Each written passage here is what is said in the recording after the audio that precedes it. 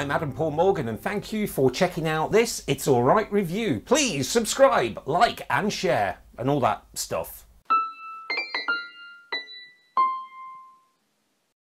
Rubbish.